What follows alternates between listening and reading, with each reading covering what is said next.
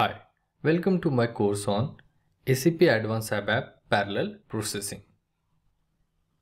In this course, I will tell you how you can use parallel processing techniques to improve the performance of ABAP report. Let's see in what all scenarios you can use parallel processing. Scenario 1. A client is complaining about the performance of ABAP report. Every ABAPer would have definitely encountered issues regarding performance tuning.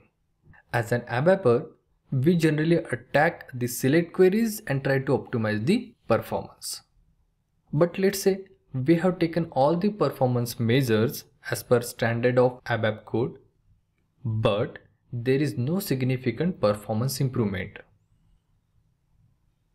Scenario 2 Customer data is growing fast. Let's take a case. A report was developed at a project implementation phase to handle few thousands of customer data. And now today, over the period of time, the customer data has grown and now it's in millions.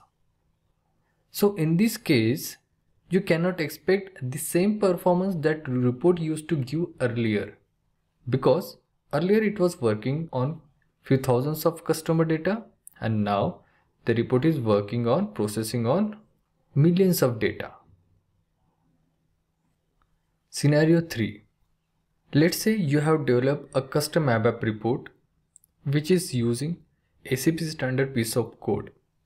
It can be SAP standard function module or method to perform some business operations.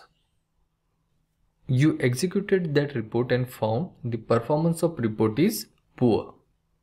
You analyzed the report and identified that SAP standard function module or method is taking more time and hence the overall performance of report is poor.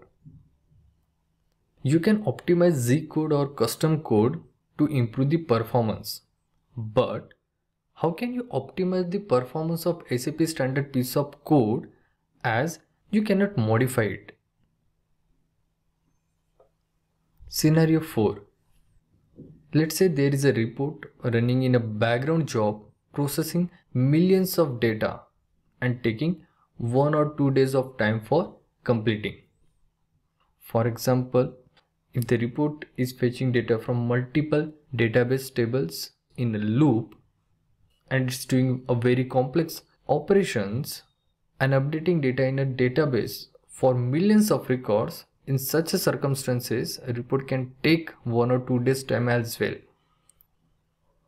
In all these four scenarios you can use parallel processing technique to improve the performance of ABAP report. The beauty of parallel processing techniques that I'll discuss with you is that will not alter the existing functionality of your report. It's just an additional piece of code that we will introduce in your existing ABAP report to improve the performance.